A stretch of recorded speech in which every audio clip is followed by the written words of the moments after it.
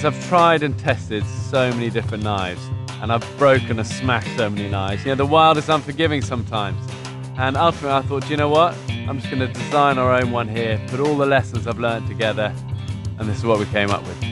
People though like a fine edge on the whole blade. It just means you keep the whole blade nice and sharp. Great for skinning animals and good for gutting fish. I could genuinely hand on heart and say this knife has been thrashed, bashed, tested and proved the hard way in some of the toughest jungles, swamps, deserts, mountains in the world, and it's come through it.